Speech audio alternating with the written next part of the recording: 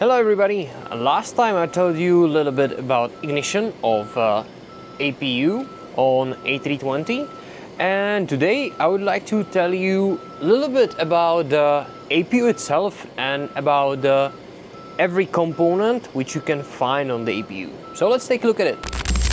And we are going to talk about Pratt & Whitney APS 3200. What are the dimensions? It is quite small. Its height is 76 centimeters, it is 85 centimeters wide and 125 centimeters long. It weighs around 140 kilograms, output shaft horsepower is 536, 100% rotor speed is around 49,300 rpm, fuel consumption is around 150 kilograms per hour, it is able to produce 42 psi of pressure and its electric outputs is 90 kilovolt amperes. That was few basic information and now let's take a look on each part. And we can start with part which actually provide power for the whole unit and that's engine itself. Uh, here we have an intake and from the intake the air goes into the one stage radial compressor from where it goes to the combustion chamber, which you can see all the way around here. And on it, you can see fuel nozzles and they are all around. Uh, the fuel comes from a manifold, which is up here. And from there, it comes from the uh, fuel control unit, on which we'll look a little bit later. Uh, then we have ignition uh, ignition system on it uh, and uh, on combustion chamber we have two igniter plugs which you can find one over here and one here as I said before I made video about uh, ignition system and how to replace igniter plugs. so if you want to take a look link is uh, somewhere up here. And of course I will leave it in the description below. And let's continue. From uh, combustion chamber we continue with the two-stage axial uh, turbine which you can find over here and then we have a silencer all the way back which is part of exhaust. Exhaust is over there on the end. Yep. So uh, that was basically the engine itself. And now let's move to the part which uh, is interesting for the uh, APU operations, uh, why we actually have the APU on the aircraft. And we can start with the compressor, which is up here. So intake uh, provide air for engine itself and for compressor, which is again radial type.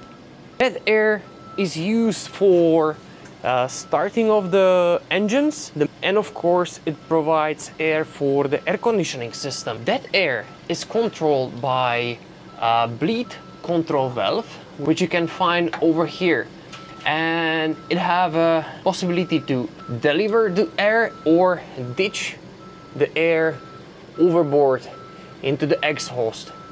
Then the second important part of the APU is provide electricity. And for that we have here this huge generator. And I made separate video about uh, the generator but let me tell you a little bit about it. It provides uh, 115 volts AC and uh, 400 hertz.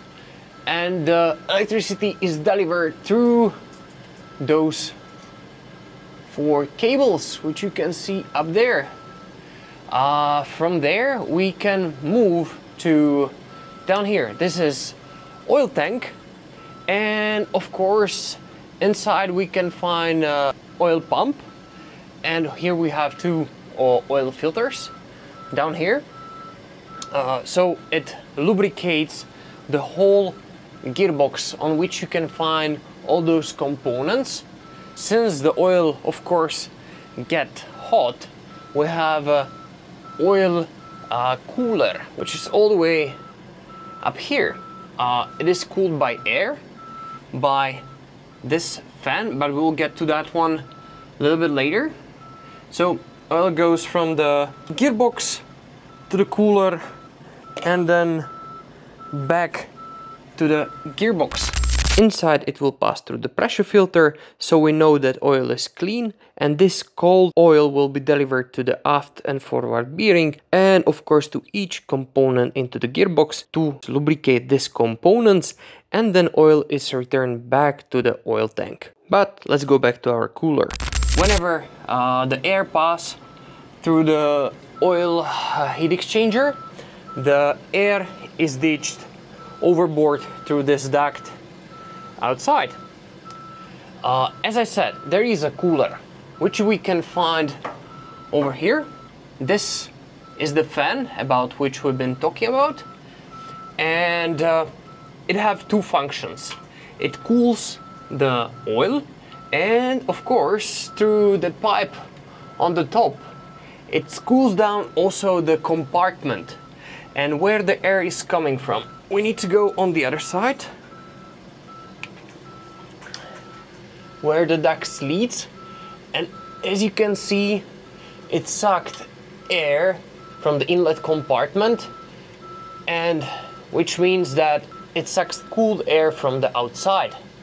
So that's the function of the fan but it have uh, one other function. Whenever you remove this duct there is a you can see the fan but through the fan uh, we are uh, rotating manually the APU itself for borescopes or for some inspections. You can use uh, the connection which is uh, behind this duct. There is uh, another type of the APU and on that, one, that one you can rotate through the starter. And since we're talking about starter, it's over here and starter of course is here to start APU. So whenever we press start button in the cockpit, starter will be powered by 28 volt DC through the contactor and it will provide rotation to the APU shaft through the gearbox. Whenever APU reach 55%, ECB de-energize ignition and the starter because from this point APU is able to accelerate without help. And since gearbox speed is higher than speed of starter, clutch module will disengage the starter. From underneath we can find fuel control unit, about which we've been talking about before. Uh, that one provides the fuel for the fuel nozzles, as we saw before.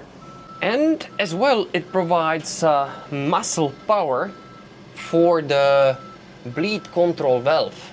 You can see pipes here and they leads uh, into the fuel control unit.